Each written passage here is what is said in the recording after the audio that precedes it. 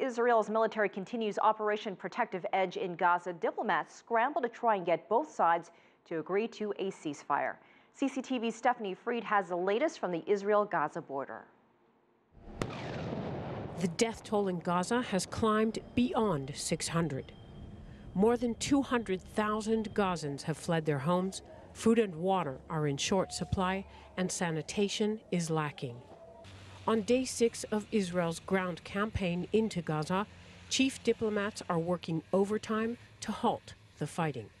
UN Secretary General Ban Ki moon met with Israel's Prime Minister Benjamin Netanyahu and Palestinian President Mahmoud Abbas to broker a ceasefire deal between Hamas and Israel.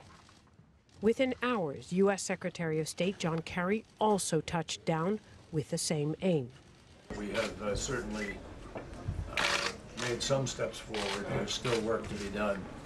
Uh, but I'm very appreciative that the Secretary General is making great efforts. The UN is wholeheartedly in this effort to try to see if we can advance uh, not just a ceasefire, but a sustainable process uh, going forward, which is very important. At the same time, Qatari Emir Sheikh Tamim bin Hamad flew to Saudi Arabia for meetings with Saudi King Abdullah bin Abdulaziz.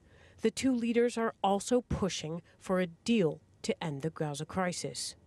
The U.S. and Israel are backing an Egypt proposal for a ceasefire. But Qatari and Saudi heads of state stand a better chance of convincing Hamas leaders to accept an end to the fighting because Qatar holds sway with Hamas. So far, Hamas has turned down any Egyptian brokered deal for ending this crisis. The latest international airlines, including United, Delta, Air France, Lufthansa, Alitalia, and others, have postponed flights to Israel indefinitely after a rocket landed dangerously close to the country's main airport.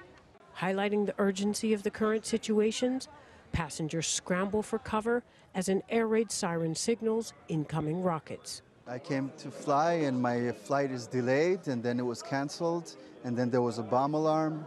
The whole airport rushed into the, the bomb shelters and it was terrifying.